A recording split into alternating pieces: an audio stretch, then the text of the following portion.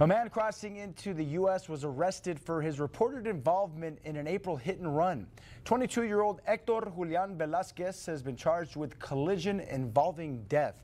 Police say Hector Julian Velasquez was traveling on North Mesa when he collided with a car carrying 23-year-old Eric Leal and 26-year-old Devin Michael Loveless.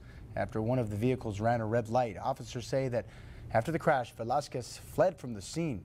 Leal and Loveless were taken to the hospital with serious injuries, and uh, Leal ended up dying from those injuries. Velasquez was booked into the El Paso County Detention Facility with a bond of $150,000.